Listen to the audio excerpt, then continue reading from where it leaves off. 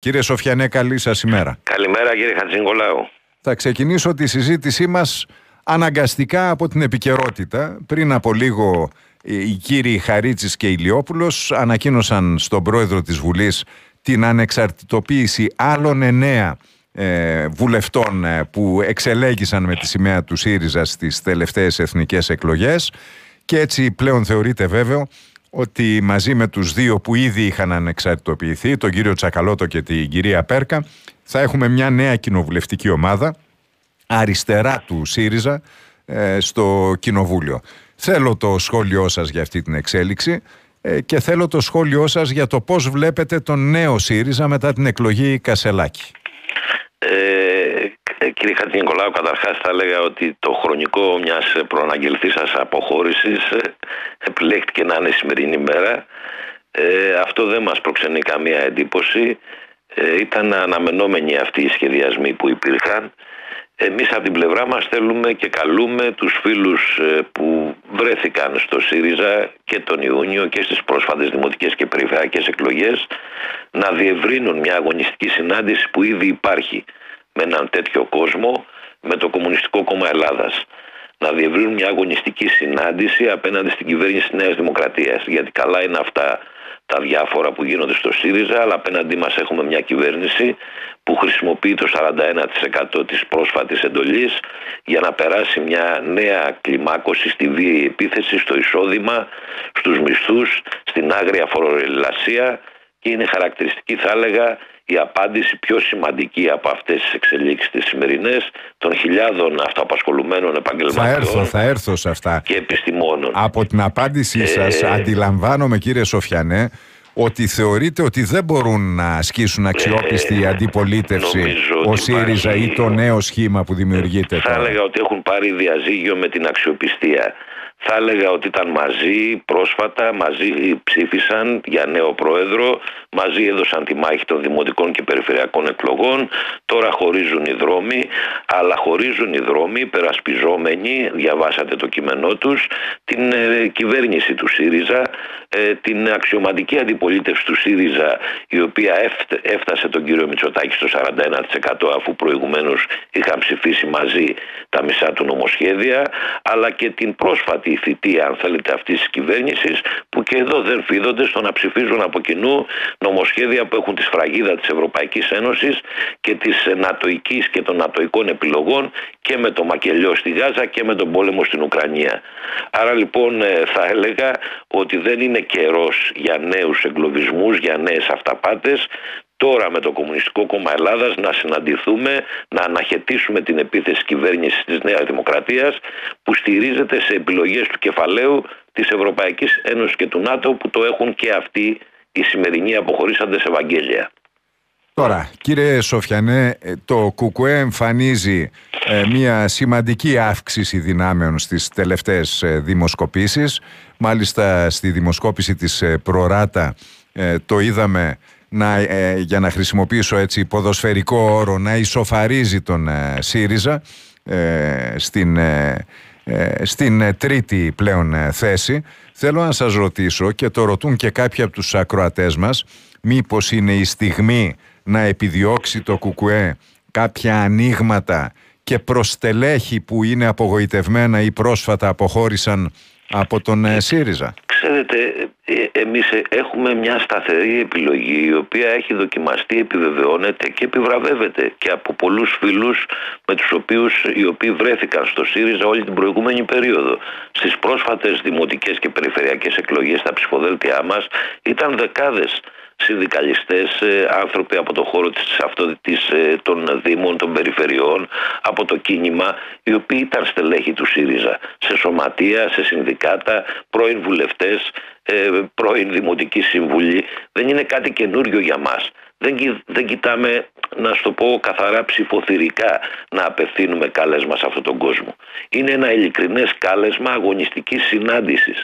Να ξεμπλοκαριστούν από, τις, από τα μυθεύματα, τις αυταπάτες, από έναν εγκλωβισμό ο οποίος λέει ότι δεν υπάρχει άλλος δρόμος, να εκφράσουμε μια διαχειριστική πιο light εκδοχή απέναντι σε αυτά που λέει ο Κασελάκης που καλεί τους νοικοκυρέους και απευθύνεται ξανά στους κυρπαντελίδες ή απέναντι σε, σε αυταπάτες ότι μπορούμε στα πλαίσια αυτού του συστήματος και αυτών των στρατηγικών επιλογών να το κάνουμε κάπως καλύτερα. Έχουν περάσει όλα αυτά, τα έχει δει ο λαός μας, τα έχει δει αν θέλετε ιδιαίτερα ένας κόσμος ο οποίος πίστεψε, ακολούθησε, βρέθηκε στο ΣΥΡΙΖΑ και είναι η ώρα της χειραφέτησης από αυτά τα πλαστά διλήμματα, είναι η ώρα της ακόμα μεγαλύτερης, γι' αυτό μίλησα και για διεύρυνση, αυτής της αγωνιστικής συνάντησης στους δρόμους, στον αγώνα, στο κίνημα, εκεί θα συναντηθούμε και εκεί φυσικά θα υπάρξουν και τέτοια στελέχη από την βάση αυτού του κόμματος τα οποία ήδη συναντιόνται και εμείς θέλουμε να συναντηθούν μαζί μας. Τώρα, ε, θέλω δύο σύντομα σχόλιά σας για δύο θέματα της επικαιρότητας. Θέλω το σχόλιο σας για το φορολογικό νομοσχέδιο ε, και το ερώτημα είναι αν θεωρείτε ε, ότι πρέπει να υπάρξει μια προσπάθεια να αντιμετωπιστεί η φοροδιαφυγή και με ποιον τρόπο. Ε, πρέπει πρώτα απ' όλα να υπάρξει μια προσπάθεια να πληρώσουν φόρο τα, δισεκατο, τα, τα, τα δισεκατομμύρια κυριολεκτικά κερδών γιατί ε, ανακοινώνονται οι ισολογισμοί και βλέπουμε εταιρείες, βλέπουμε τράπεζες, βλέπουμε μεγάλους ομίλους οι οποίοι έχουν τρελή κερδοφορία και οι οποίοι σχεδόν δεν πληρώνουν τίποτα. Μόλις το 5% από τα 62 δισεκατομμύρια που προβλέπει ο νέος προϋπολογισμός θα προέλθει από επιχειρήσεις και ανώνυμες εταιρείες. Αυτοί είναι οι φοροφυγάδες και όχι μόνο φοροφυγάδες, αλλά αυτοί φοροελαφρύνονται με τον νόμο. Αυτοί επιδοτούνται με ζεστό χρήμα. Αυτά τα κέρδη είναι μέρος αν θέλετε των, των, της λειτουργίας αυτής της αγοράς που δημιουργεί την ακρίβεια και στα πλαίσια αυτά θεωρούμε ότι ήταν ένα σημαντικό βήμα όχι ε, πώς να το πω απάντησης στη φορολελασία που ετοιμάζει η κυβέρνηση Μητσοτάκη με τον κύριο Χατζηδάκη ε, απέναντι στους αυτοαπασχολούμενους επιστήμονες, στους επαγγελματίες, στους μικροεμπόρους ένα κόσμο ο οποίος έχει γονατίσει και κυριολεκτικά πάνε να του κλέψουν και το ελάχιστο εισόδημα. Εμείς διεκδικούμε το αφορολόγητο και σε αυτόν τον κόσμο την κατάργηση του τέλους επιτιδεύματος για όλους γιατί υπάρχει και κάνει πως το ξεχνάει η κυβέρνηση και φυσικά θεωρούμε ότι στους δρόμους μπορεί να πιεστεί αυτή η κυβέρνηση αποσύροντας το νομοσχέδιο έκτρωμα. Θέλω και ένα σχόλιο σας για να κλείσουμε κύριε Σοφιανέ ε, για το πώς βλέπετε την επικείμενη επίσκεψη Ερντογάν στην Αθήνα.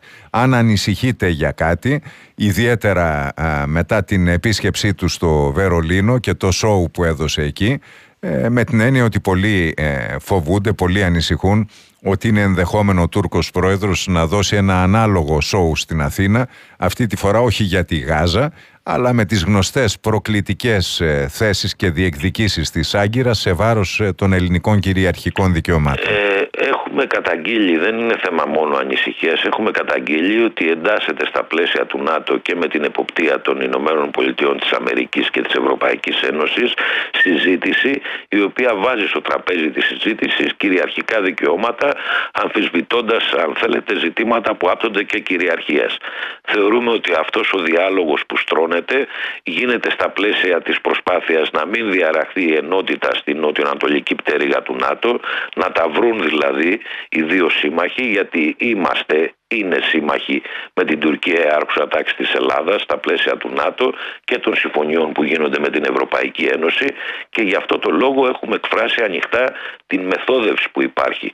Δεν είναι τυχαίο που στα διάφορα δημοσιεύματα ε, που γίνονται και που διαραίουν και από την πλευρά της άρχουσας τάξης της Τουρκίας και της κυβέρνησης Ερντογάν μπαίνουν για συζήτηση ζητήματα καθορισμού ΑΟΣ αξιοποιώντας πρόσφατες υπογραφές που έχει κάνει η ελληνική κυβέρνηση με την Ιταλία και με την Αίγυπτο στις οποίες υπάρχει παραχώρηση κυριαρχικών δικαιωμάτων και αυτές χρησιμοποιούνται και από την κυβέρνηση Ερντογάν. Θεωρούμε φυσικά ότι δεν, δεν, δεν πρέπει να, να εμπλέκονται οι σχεδιασμοί της Τουρκίας απέναντι στο λαό της Παλαιστίνης και στο Ισραήλ με τον ρόλο που παίζει η Ελλάδα σε αυτό το μακελιό. Έχουμε απαιτήσει την απεμπλοκή της χώρας μας από τη στήριξη του κράτους τρομοκράτη του Ισραήλ που δολοφονεί κυριολεκτικά στη Γάζα που μέχρι τώρα μετράει 14.000 νεκρούς γυναικόπαιδα κυρίως και άμαχους και φυσικά σε αυτά τα πλαίσια θεωρούμε ότι πρέπει να διεκδικήσουμε, να απαιτήσουμε την αναγνώριση του Παλαιστινιακού κράτους με βάση τα σύνορα το 67 και με πρωτεύουσα την ε, Ανατολική Ιερουσαλήμ. Η λύση των δύο κρατών με βάση τα σύνορα το 67 είναι η μόνη λύση η οποία μπορεί να εγγυηθεί και την ασφάλεια των Ισραηλινών πολιτών και φυσικά τα δικαιώματα του Παλαιστινιακού λαού. Ευχαριστώ θερμά τον κύριο Νίκο Σοφιανό, το μέλος του πολιτικού γραφείου του Κομμουνιστικού Κόμματος Ελλάδος. Καλημέρα κύριε Καλημέρα, Σοφιανέ. Κύριε